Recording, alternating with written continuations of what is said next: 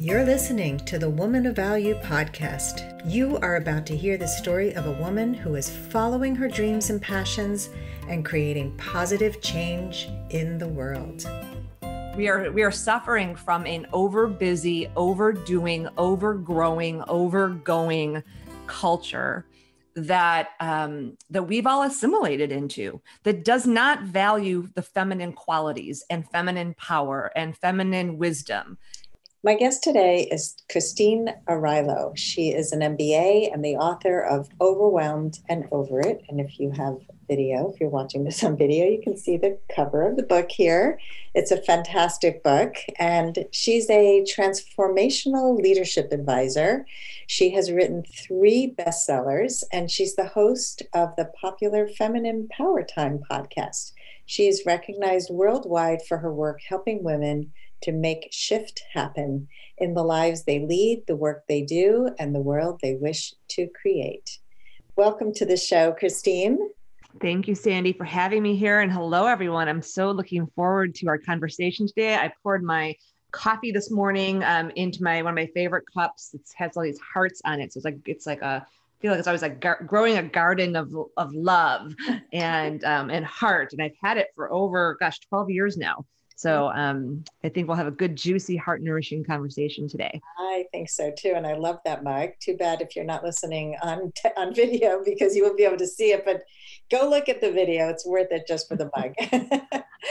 um, so, Christine, what does woman of value mean to you? Well, it was interesting posing that question um, because it's almost like I don't know what a woman of value like. It's like almost like one of those questions, like, well, how could a woman not be of value? you know, it's like those, you know, and I, and I get why you ask the question because it's because because in our world it's not women are not valued the feminine isn't valued and um and so to, to me it's we are valuable inherent in who we are. And a woman um, of value is is how we're born. And i feel like right now in our world all of us that are alive i think we're like one big generation. Um, we're here to to reestablish how um, how valuable the feminine actually is, like what it really means to be a woman, not through the eyes of the media, not through the eyes of marketing, not through the eyes of our parents, but inherently as a woman, um, what we bring, who we are, and that we are both deeply compassionate and amazingly courageous. We are absolutely graceful and super fierce. And so it's that capacity to be that full spectrum of ourselves without apology um, for any of them and defining who we are um, based on who we are and anybody else's version of what that should be. Wow. That's a lot. And I, I totally love it.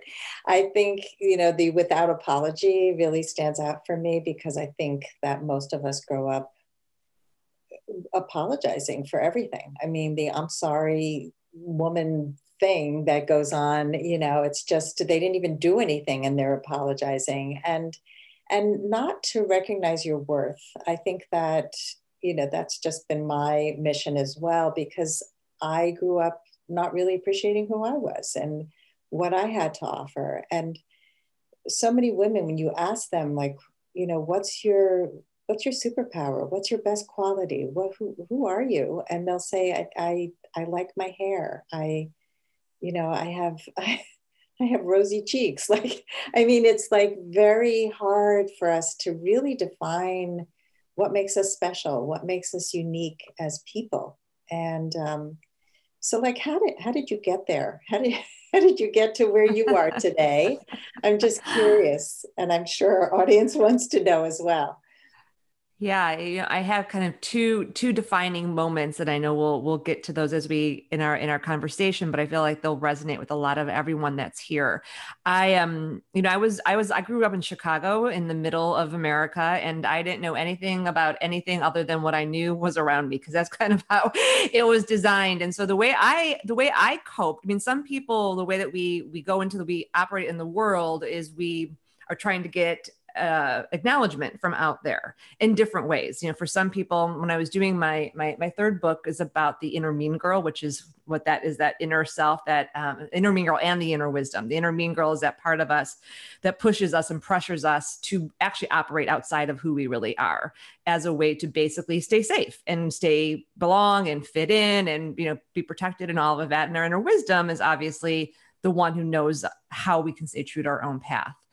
So I was born with a lot of self esteem kind of was born with confidence. My personality is is a confident personality, and it's interesting in our culture we kind of herald that, like, oh, she's confident, she has a lot of self esteem, so it's a lot easier to go through life that way. And everyone's like, well, of course she values herself because I did, and um, and yet I didn't truly love myself because I didn't even know what that was.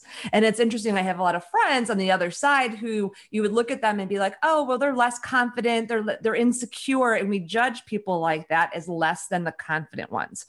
And I can tell you from my own experience and working with lots of women around the world and having lots of friends on both sides of that spectrum, none is better and none is none is none is none is better than the other. Just easier to hide as a person who's like a high achieving, confident person. And so for me me, I went through my life that way and I did all the things. I checked the boxes, you know, not the good girl boxes, but the achiever boxes. And so I went to, you know, I, I got out of the south side of Chicago. I went to college. I got my MBA. I had good jobs. I got the big house and then I bought the bigger house and I was engaged to be married. You know, I was like, these are all the things you do to be successful. And at the age of 30, I had what I call um, my universal two by four, which knocked me out of the life I had so conveniently built to put me into the life I was actually destined to live. And my wake up call came at the, um, the, at the, at the hands of my then fiance, who broke up with me on the way to our engagement party. Longer story for a different time, but the moral of the story is um, where that left me two weeks after I kind of recovered from the shock um, was sitting with myself and this question emerged like, how did a smart woman who has a lot of friends, who seems well adjusted, how did I end up here? Like, actually engaged to a person who was not actually really very nice to me, very kind to me, and also settling in a lot of ways that were because I wanted to stay in the relationship. I was afraid to leave the relationship, but it wasn't his idea of what life was in my idea very different. I wanted to move to California and work in fashion and have an adventure. He wanted to move farther into the suburbs and like hunker down. And um, I remember I got really quiet and that voice, that inner wisdom voice spoke to me. And she said, You know, Christine, you have a lot of self esteem, but you don't love yourself. And I was like, That moment, you know, when you're like, my God, that's true. And I'm like, I don't even know what that means. What the heck does that even mean? Love yourself. Love your what? And, and then it was so, so excited. I kept talking and it was like, and you know, not only did you almost marry the wrong guy, but you almost created the wrong life. And I was like, oh, that's right. And that night I made two promises. One, I'll figure out what loving yourself is and I'm going to do it, the cheaper in me.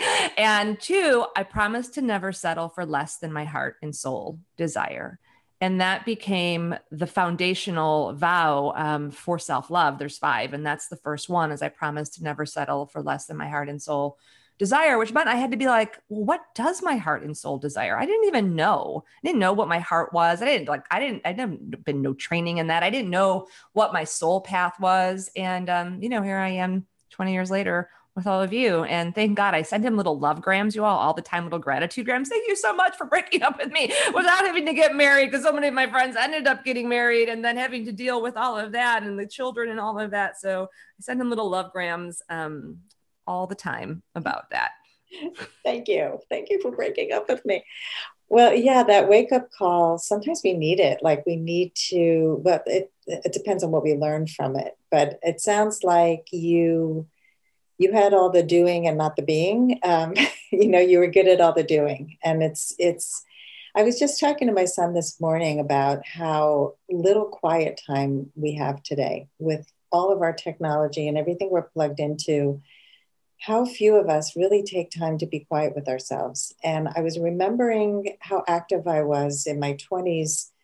I was always on my bike, taking long rides to nowhere. And we didn't have iPods and we didn't have things to plug our, into our heads. Like today, if I go for a walk by myself, I'm listening to a podcast, I'm doing something learning, growing, doing. it's hard for me to be quiet with myself. And those moments, like in the shower, where there is no distraction, are when the good stuff comes through. And so I, I would love to hear what you have to say about like people creating that quiet time because you wouldn't have mm-hmm. heard that voice if you didn't have that. No and you know that that voice i had to i had to go to the moment of distress. You know this is what happens to a lot of us. We have to get to distress drama disease or divorce in order to actually listen to that voice. And I made a promise to myself. I'm like, never again. I, I want no more Mack trucks. like, you know, it's like, and I was really clear. I could have just, I could have masking taped over all of it and then, you know, kept going. But instead I dove deep. And I think that's where we're at right now in the world too, is that um, we are, we are, we are suffering from an over busy, overdoing, overgrowing, overgoing culture that um, that we've all assimilated into that does not value the feminine qualities and feminine power and feminine wisdom and um, I think I'll tell a little story a little bit later about the second time that voice talked to me when I realized I didn't have the feminine. But I, but I, but I would say is that, you know, if you think about the feminine, if you think about feminine and masculine power, they're they're actually very connected to yin and yang. So it's like it's not a new theory, right? So yin and yang, Taoist tech, technology, wisdom teaching, thousands and thousands of years old. You all know the yin and yang, and it has a little symbol, the black and the white, and there's a little, you know, that thing in psychology, there's the anima and the animus. And the way I teach it is really about understanding our feminine power and our masculine power and valuing both of those. As I was researching overwhelm and trying to really get into like, why is it we keep burning ourselves out, self sacrificing, exhausted all the time? There are some systemic reasons out there that cause us to not value the feminine within us. And so, from an elemental perspective, the feminine is water and the masculine is fire. We have both, which I was kind of saying fierce, fierce grace is like how I always like if I would say, what is a woman who's embodying her power and her worth feel like? Fierce grace. And that fierceness is the fire, that's the masculine, and the and the and the grace is the is the water, the, the, the feminine, and they come together and they create the empowered woman. And I think that what I see is that we're scared of slowing down. I mean, this has been my I have two primary spiritual teachers. Neither of them know each other. They're both women in their 70s and 80s, Have been working with me for, for decades. And they both taught, would tell me the same lesson Christine, slow down. Christine, slow down. It took me over a decade to actually, I'm like, yeah, yeah, yeah yeah, yeah, yeah. And I'm like, but I am slow. They'd be like, mm, yeah, nope, no, yeah, yeah, no. like really. And I'm just like, oh. And so it's so interesting because when I first started this process of like being, you know, and being able to be still and slowing down, my nerve, like I would, I remember laying on the couch you all one day, and my husband is way better than this. He's so much more and was way better. And he's like, just go sit on the couch and do nothing. I'm like, okay. So I sit on the couch and I'm like, what am I supposed to do? He's like, nothing. You're just supposed to be still. I'm like, well, can I read? He's like, no. He's like, I'm like, can I watch TV? He's like, no, just be. And I'm not kidding, Sandy and everyone. My body like literally started to twist because my nervous system couldn't handle it. You know, it was so used to being on all the time. And, you know, fast forward now to my life, and it isn't that I don't find times of overwhelm and stress. Of course, they show up, but I, they, I never get to the point rarely of distress and drama and disease. And I think if I'll just say one last part is that this is I'm looking I live in I live on an island off the coast of Seattle. I'm looking right now out at the water and the tide comes in and out every day. It ebbs and it flows. I watch the sun come up, sun come down every day. The moon come up the moon come down almost every day. So there's a natural like ebb and flow. And there's something about us in our society that doesn't value the feminine that doesn't value slowing down that that doesn't let us ebb. And if we ebb we feel guilty. We feel like we're not being productive. We feel like we should be more motivated. But the ocean ebbs and and it doesn't feel guilty or bad or like it should be more productive. and actually, from the ebb, the momentum happens. It allows it to flow with such less effort. And I think that's where we're at as a culture, as women, like really taking a stand for embracing the ebb and the flow and the natural way the universe actually works versus this man-made banana matrix crazy pants busy world that we've all been just trying to to stay afloat in until this year. And then it's kind of like oh wait we actually can't stay afloat. Now we really have to deal with what's underneath the surface.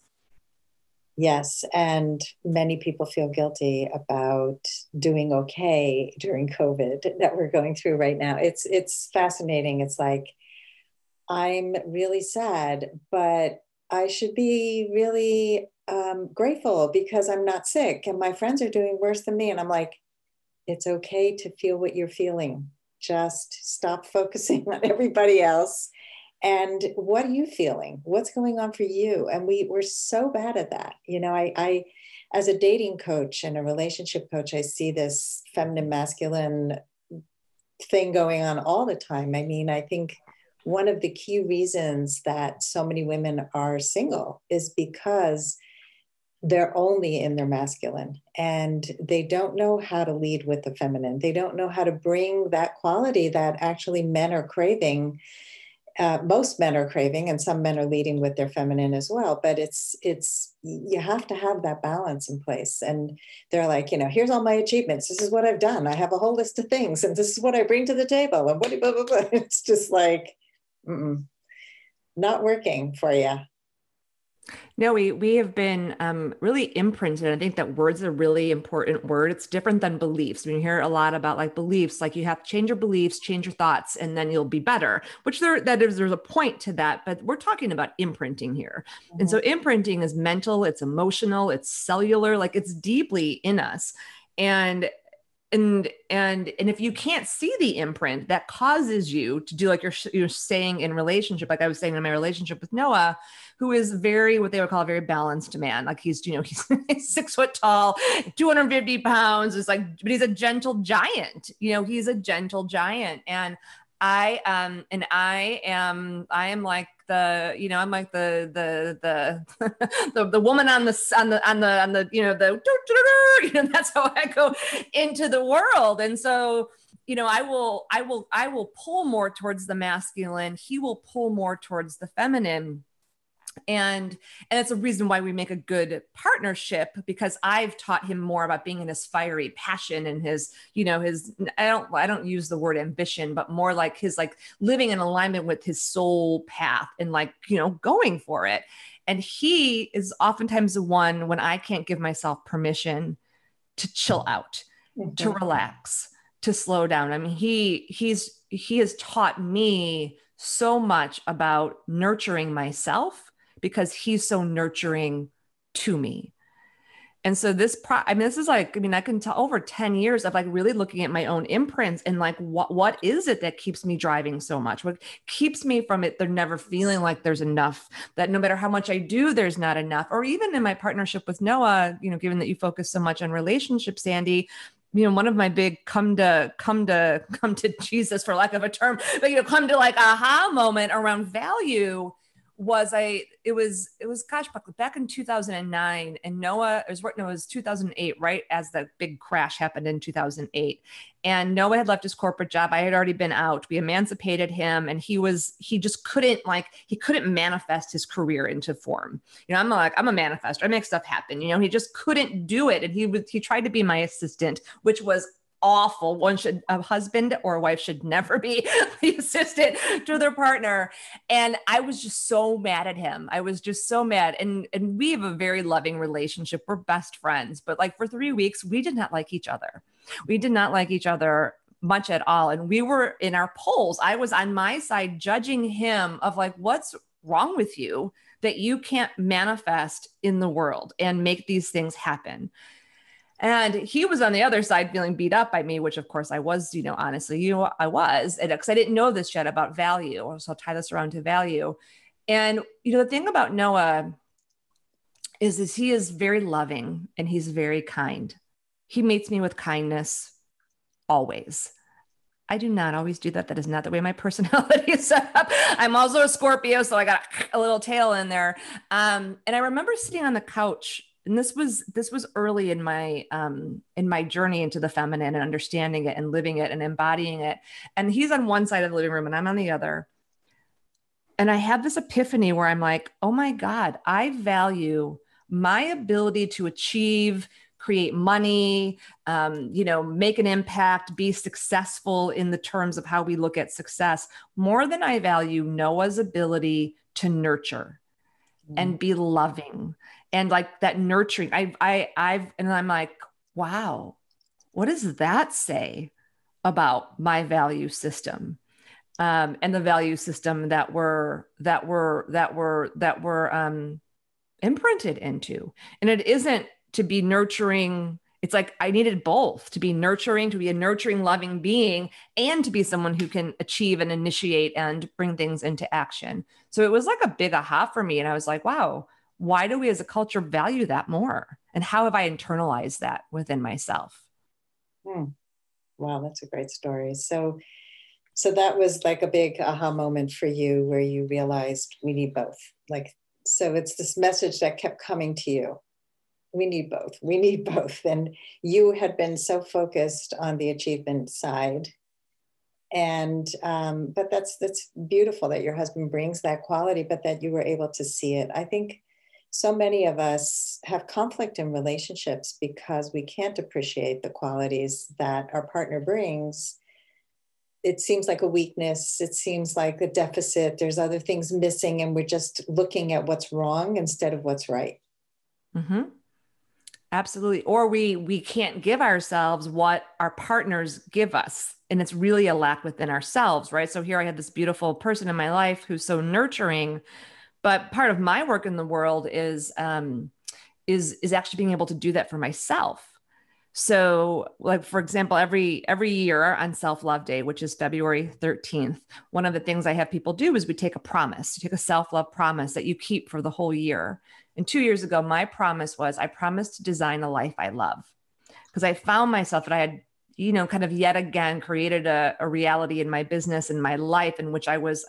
I don't really suffer um, from physical burnout anymore. So there's nine different kinds of burnout. Physical is the last place that shows up for people, but I, I do still get trapped in passion burnout. And passion burnout is where you're giving to what you love so much and you're actually not getting what you need um, to nurture yourself. And so I made this promise. I promised to design a life that I love. And I was like, huh, what does that even mean?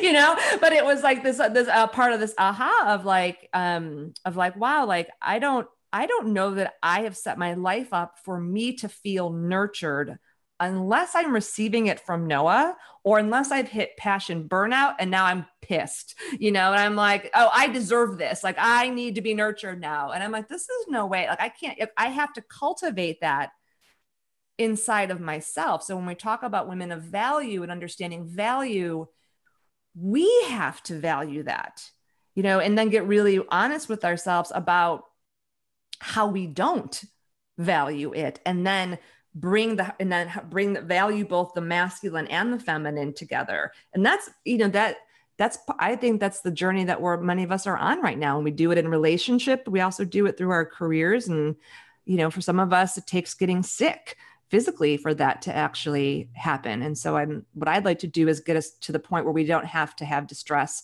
and disease and divorce and drama but if we can be conscious about these things within us then we can actually work with them Yes, so true. I have seen people get sick and promise that that's that's the message that they needed, and then they go right back. I, was working with a woman many years ago. She ended up with emergency gallbladder surgery. She was very overweight and a terrible marriage. Just everything, her job, just everything was stress.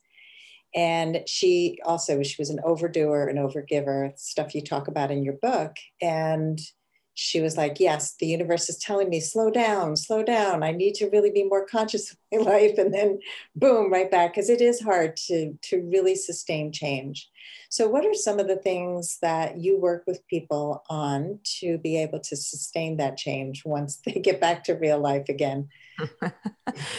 you know, it's so interesting because oftentimes, like you're saying, we have these big wake up calls for us to pay attention, which is, by the way, what's happening and the universe right now. it's like the universe is like, you humans wake up. Like we're like big, like let's let's not get any more of these. Like let's let's um come back to what I like to call simple but significant. And it really is, I'm a big believer, I'm a big believer in expanding our perspective and opening up our awareness and elevating our wisdom. But I'm also a big believer in let's make it practical. And how do we actually do this like in our in our daily lives? And so one of the things that is is really true, I believe, is that um, we need to be connected to our deeper wisdom to our deeper what is called our intuition right? And that is and when you think about it's also when i teach feminine and masculine power i, I teach this um actually i'll show it to you that are all listening kind of see it. Can you see that? It looks like a figure eight. You also you can't see it's called a harmonizer. Uh-huh. and it uh-huh. looks like a figure eight on its side. It's like a like a like an infinity sign. yeah. Uh-huh. feminine power goes on the left the masculine power goes on the right. And what you want to do is when those two harmonize with each other you gain access to, to to an elevated level of perspective and an elevated level of understanding. So on the left in this particular one power spectrum there are intuition the feminine is on the left and on the right is our intellect.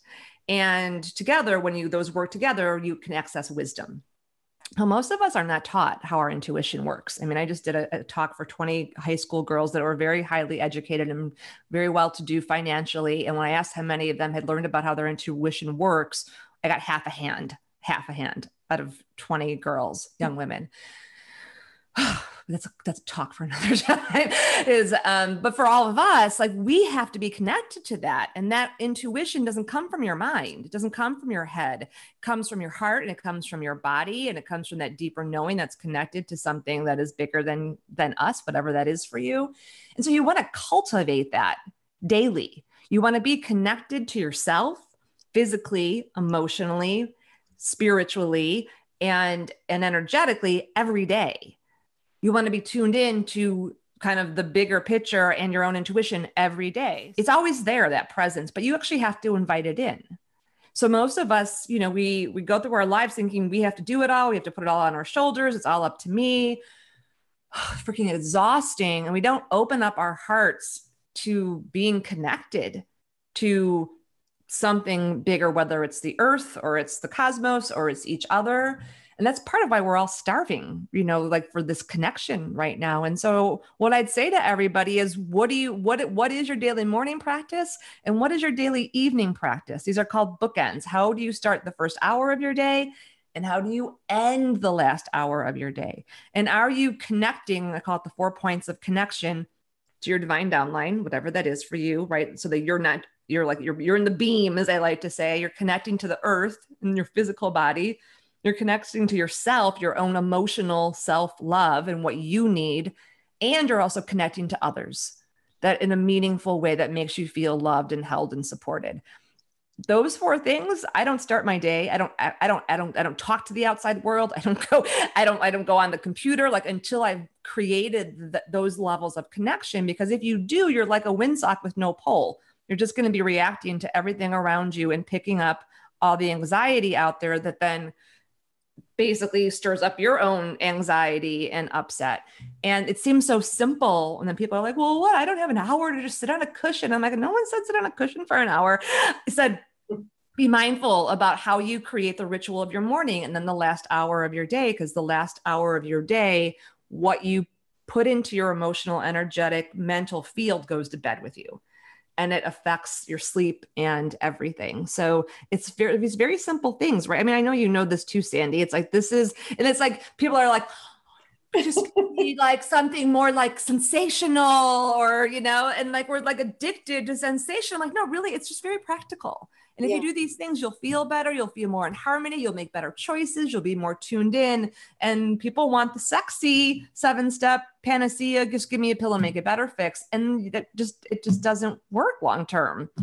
Yeah, I totally. I mean, uh, so many people I speak to, the first thing in the morning is news, uh, email, you know, and what they don't realize is that answering emails is actually doing for others before you do for yourself. You're already serving other people. You haven't had time to nurture yourself and also just being on your phone late at night. People sleep with their damn phones. It's like, put the phone away have a phone you know boundary for yourself just that alone is is huge, huge. and you know i personally i I take a bath every night. I mm-hmm. read every night. I have a whole ritual around that. I, I I wake up to delicious coffee. like that's really important to me. I'm not a big meditator. I know lots of people meditate, but that doesn't really work for me. But I the quiet for me mm-hmm. is really important. And I think, you know, just to find what works for you, but don't immediately go to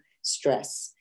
You know, I think that dance, a lot of people dance in the morning. Um, you know, I think just simple. Yeah there's lots of different ways. This is why i i you know i i do meditate. I've been meditating for 20 years. I've been doing yoga for 20 years but people get they think that's the only way to do it. Meditating is just about connecting it's about clearing your mind and connecting to something that is that is you and beyond you. And and so i've studied i've studied the yogic science as part of my yogic is part of my tradition. And in yogic science they they say that all the stuff that we do the walking the yoga the whatever it's just to touch what they call it's called the shunya in yoga which is the just that point of stillness within the self. And if you can just touch that in, in christian mystic science they call it um, they call it the click. You know you just feel that click. And so all different traditions wisdom traditions talk about it. And you just want to feel that click. It's a connection point.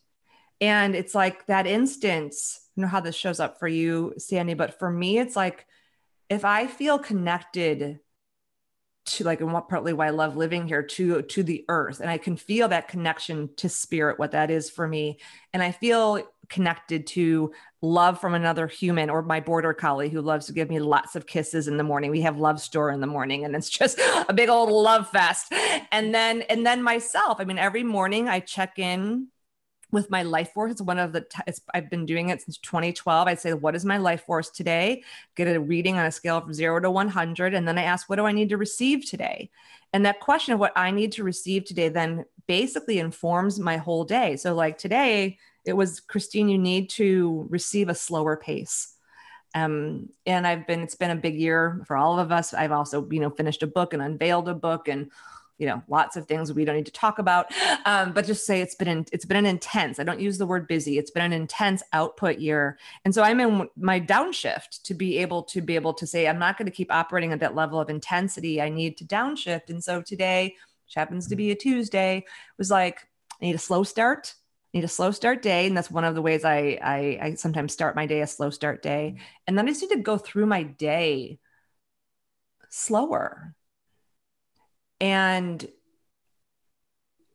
notice I'm just slowing down. I do. and and and then I have to trust it. And I think that's one of the reasons why we don't put these things into practice because we're afraid what will happen if we slow down. Mm-hmm. Definitely. Um, and it, it's, it's, you know, that achievement thing, because I, I, published a book this year as well. And it's mm-hmm. like, I finished and I, I barely celebrated it. I was in such a mode of get it done, get it done, get it done. And my son was the one who said to me, Mom, this is an amazing moment. Let's just celebrate. He's great at centering me also like just that that good men it's good to have good men it is good to have good men in your life it is it is and um we do that you know we we've been bred to be really strong achievers and really selfless caregivers and we don't really know how to receive we kind of suck at it well, well I, I i'm getting better every day in fact my self-love promise this year was i promise to savor the process and i promise to savor what i create I promise to savor what I create. And it's so right. It's so interesting. It's like to go on to the next thing. Like we're so programmed to go on to the next thing. And you know how long it takes to birth a book i mean like you first you're living it right and then you start writing it and um and and we do that i mean everyone listening we all do that mm-hmm. but there's going to be no like space fairy who's going to come down from you know the tree like Glinda the Good, Witch say, "Oh, here you can have some space. Here, savor your life. Here we're going to like." This is the piece about about valuing women and being empowered. We are the ones to say the way that we're working and living, this is banana pants. This it's it's all human made. I mean, it's all made up. The stock market is made up. The way we educate our children is made up. Every system on the planet, other than the ones that are made by Mother Nature, all made up, all made up by humans, which means we can change them. But it but it, but part of the reason they haven't changed is because we even in ourselves as women this is the hard thing to swallow and like really embrace. We don't value the things we actually say we want. Space right? People say time but what they really want is space right? To savor. And so we don't we don't value it through our actions not because it's our fault. It's none of our fault. We've just been so imprinted. And there's a lot of fear inside of us that we don't even know is there and a lot of programming. So I feel like by doing our own personal part, you know, Sandy, your amazing son saying, you know, mom, it's okay to slow down and savor it. I got the Noah over there. And for those of you that don't have one of those, you know, friends are great. You can, this is what we call a permission line. Like it's okay. Cause we're, we're breaking through these old ways of working and, and then we can see, well, gosh, well, how could we create an economic system that valued sustainability? How, how would we set up our education system and our work systems? What is it? Why is it five days a week? Where's this ridiculous 40 hour day thing that no one really does anyway? You know, and to design a whole different way of thinking and being in the world. But first, we have to get this value right in our own hearts. All social and systemic change has to have personal transformation at the root. Um, and that's the harder part because you can't take a pill to to do that. Sometimes you need a pill to just get through the rocky stuff, but eventually you got to go in there, you know, and you gotta you gotta go in there. You got to go into the heart, and people are scared of that. Yeah, so true. I, I uh, so much that you said I want to speak about, but we don't have ten hours. But I I, I want to focus on the receiving part because that is so key you know and, and something that really helped me is just thinking about a woman's anatomy that we're built to receive. Like you know if you think about who we are as women we're built to receive but we struggle with receiving. And even receiving and asking. And i i i remember the day that somebody said when you don't receive what somebody gives you you're actually taking away a gift that somebody's trying to give you and we don't look at it that way. We just look at it, well, I can do it. I can take care of it all and I've got it all. But then there's resentment. And I mean, oh my God, I, I just, one of the first things I do with clients is, is slow them down and look at all the things on their plate and ask them what they can get rid of, what they can delegate, what they can never do again, um, and getting other people involved. You know, we have families who, how many people train their kids to help out in the house? How many people ask for help from a friend, ask for receive something from somebody. So I think that's, I just wanted to really highlight that because receiving is key. And it, it's not only a gift to yourself, it's a gift to the people who give to you. It's paramount, actually, um, for us to, um, and it's one of those things that kind of like with self love when I got the message like you need self love, or when I heard the message you need the feminine. They're so like amorphous. It's like what does that even mean? Um, you know, when I when I teach I teach feminine superpowers. So I've teach these 13 different feminine superpowers. The first one is receiving. And I remember when I started teaching, I'm like, how do I teach receiving? Because again, it's like this whole, like, it's so big and amorphous. And when I was working on Overwhelmed and Over It last summer, I sat down and I said, okay, what would I feel like if I really was strong at receiving, if I felt received in the world, because it's that way too, if I felt received in the world and I felt like I was receiving what I needed, what would I feel like? And from that um, came these 15 I am receiving mantras. And I'd love just to share like five of them Please. with everybody to see maybe you can pick one that that you all that that feels good for you that you might want to work with. Um, so one is I am nurtured. I am met. I am supported. I am nourished. I am valued. I am seen. I am guided. I am just doing my part. and there's more, but those are like a good couple. And just one of my practices is I choose one I am every year and I focus on that I am, um, and I to really incorporate it into my life. And this year, mine was I am met because I really wanted to feel met as I put the book into the world, as I step forward in the world. But I had to cultivate that first in myself. And so one way I did that is every morning. This is a little but simple practice. You start you start imprinting the I am into your brain and your body first thing in the morning. So first when you first wake up in the morning, before you do anything else, you register, oh, I'm awake. And then you say that I am to yourself. So for me, it would be like, I am met. Or right now, I'm also working with, I am nurtured. And you say that to yourself, just to like feel it, you know, and even just consider it. And it starts to program your brain for that first thing versus the phone. Because part of the reason people reach for the phone is they don't have rituals to do instead. So we need those other rituals to do instead. And then in the moments when you feel scared or wobbly, you go back to that mantra, I am. And it starts to soothe your heart. It starts to calm you down. And then you can ask, okay, if I was this, what would my choice be? Right? What would my choice be? So as I'm working with, um, I am met and putting overwhelmed and over into the world, I could certainly focus on the ways in which that's not true, right? And that this hasn't happened or this hasn't happened or whatever. But if I choose to look through the lens of I am met, I mean, just being here with you, Sandy, is a is a way. Like I am met by other. It's part of my f- fear that I can have is I'm going to put this into the world and no one's going to understand it because it's been kind of always seem to be ahead of what everyone else is talking about, except for you know beloveds that are, are, are on that same wavelength, and then I don't feel received because they're like they're they want the pill, they want the seven steps to lose 20 pounds, they don't actually want to go deeper into the heart, and it's and I'm like but it's been so lovely. I've been cultivating this all year. All the podcasts I've been on have been saying, wow, this is the best, such great timing, such great timing. And I've felt met and I'm just like soaking it up, you know, and and savoring it. But I also had to meet myself this year. I had to really be with me and and and both then kind of happen together. And this again seems so subtle maybe a little esoteric but it's very practical. And and then it works because we're looking for that thing out there that we have to feel first inside of here which i'm sure you work with all the time in relation I mean, it's, it's paramount to creating strong relationships.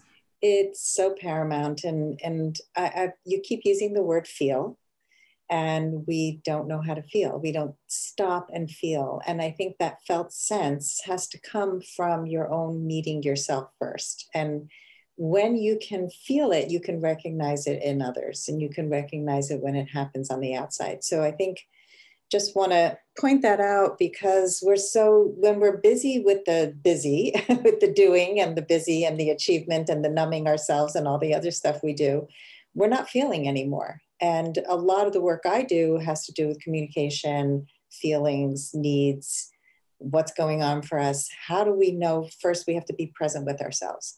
Because if we don't even know what am i feeling? Just pissed off is not enough. Like we we really need to know how to get under that. And mm-hmm. then we can articulate and we can be more compassionate. Just like you were with noah you could recognize what he was offering you and his incredible kindness and his gifts in the world we can't do that if we're constantly running on empty and we have a big hole that we never fill. Uh, yes. Underline underline underline underline.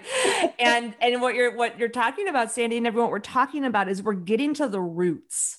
This is the reason why we don't we haven't don't have societal change and we don't get the personal change we want is because we're, we're on the surface and we're and we're looking at the symptoms. We're putting band-aids on everything because to go into the to, to get to the root of it is to actually go in there. And you got to go in there and you, and you got to go in there with a guide. It's not go in there by yourself you know it's like i've had amazing, amazing teachers and mentors. And when had 30, when my life blew up at 8,000 popsicle sticks, I had a therapist, a body worker, and a um, and a spiritual mentor. And um, and I've been through many different trainings and and to get me here, to get to this place where where and i still you know a couple weeks ago i was feeling wobbly. I was working on something deeper in my own heart that i'm you know in the process. I always look at myself in december and be like hey what do i not want to take into the year the next year that's coming from the wound versus my wholeness? Mm-hmm. And and so i you know i i got the thing with the, my male partner good no and i are like good good good. My struggle comes in my female relationships. And so it's the area that i know. And so i'm like okay here we go. Gonna go in there again. I'm like oh look there's some wounds. Oh look there's some more wound stuff and then i like i went and i you know i sat with my with my teacher and she held space for me and created space for me and i and then i know enough because i've been doing this for so long how to go through my own processes but but I I was I didn't start there. You know, I like I said, you all grew up in Chicago in the middle of, you know, I didn't know what energy was other than the thing you plug, you know, your computer into. and so I just want to say to everybody, this is one of the big shifts that I write about in Overwhelmed and Over It this belief that we have to take it all on or do it all ourselves. Mm-mm. We need to, it's okay. We actually need support. And we, for women, need sisterhood. For men, we need brotherhood. For all of us, we need Sangha. We need community um, around us. And that's how it's supposed to happen. And I think that, um, I think you actually spend less money and you'll go a lot faster in my, my, um, my, my, my, my, uh, experience not that you don't need to invest time and money and energy in it, but it um the payoff, it's with you forever. You know, you really do. It's like I'm so much more of who I am and I know who I am. And I, you know, I always say self love, self acceptance is the deepest part of self love. I'm not 100%, still have a little comparison queen who shows up sometimes. um, but I'm aware of how she operates and I'm aware when that's operating me so that I can get into my heart and actually ask questions like, what's going on in there? So that's a question I'll get to everybody. Just you know, we're going to go into the lightning round here, but just like when you when you feel off, when you feel afraid, when you feel whatever that emotion is, slow down and go into your heart and your body and get curious what's going on in there and then what do i need? You know this, what do i need? What am i what am i feeling? What's going on in there? And then what do i need? And that will open up the portal to the next step. Yeah i love that. It's it's uh, back to the intuition back to your inner wisdom.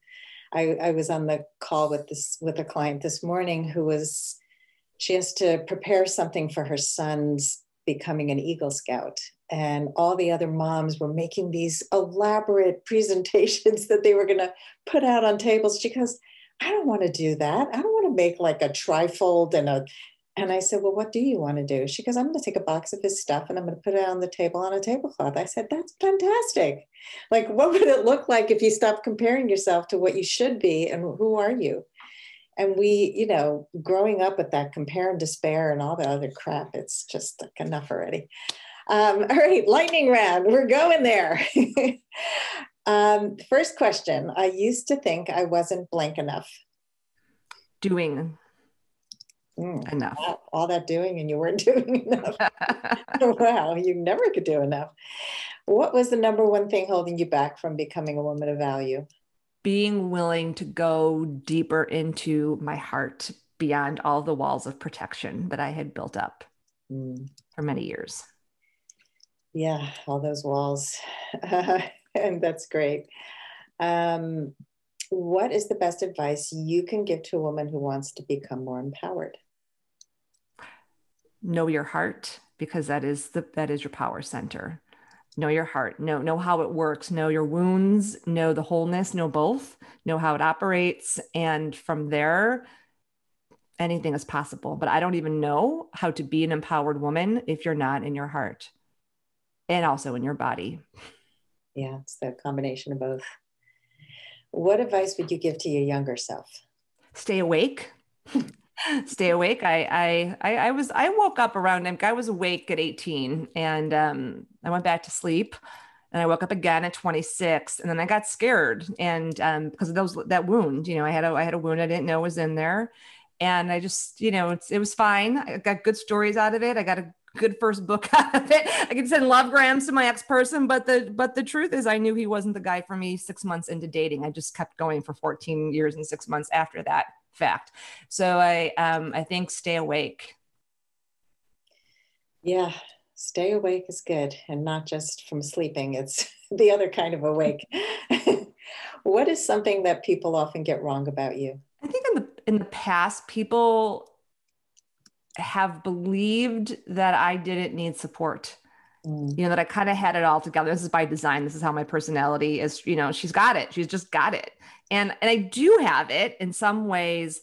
And but I but I really um but I really do need support. And it's it's it was safer for me to just do things on my own or pay people money to do things versus actually receiving genuine generosity uh, without strings. Yeah. And finally, Christine, how would you like to be remembered? Um, for someone who deeply cared, as someone who deeply cared. Mm. Beautiful. Well, I can see that you deeply care. You've already got that going on. And I think that, you know, the, the message of you can't do it all alone, that you're not supposed to do it all alone. We all need guides and we all have them on some level, but I think I, I think a lot of us think it's a weakness to ask for help. And it's not, it's actually a strength. And this conversation is so inspirational. And I know that so many people will listen and be inspired. And I hope they don't just listen, but they actually take action and mm-hmm. make some changes. So thank you. And please tell our audience how they can find you, buy your books, all the good stuff. Yeah, I'd love to stay connected with everybody. One of the best ways to stay connected is to um, check out my, fem- my my podcast, Feminine Power Time um, which is a which is a podcast I do, and that's a good way to stay connected to me. Do that weekly, so that's good. And then um, go to Overwhelmed and Over It. That's the book's website, and that has um, it has all kinds of good stuff. Tells you where to get it and all of that. And that's also on my. It'll connect you to my website too. So it's on my Christine Arylo a R Y L O dot com site, but overwhelmed and over it is easier to uh, to remember. And then feminine power time. So it'd be great to stay connected with all of you. Well, thank you. Thank you so much for doing this beautiful work in the world and helping us all be more balanced human beings. I really mm. appreciate you. Mm, thank you, Sandy, and thank you everyone for having me here. Many blessings.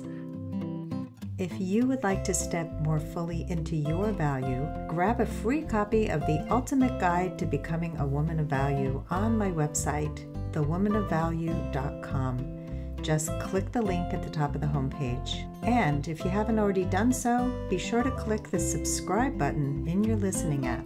And if there's something in this episode that inspired you, please share it with others because the more we share these inspirational stories, the more women of value we will have in this world. I'll see you next time.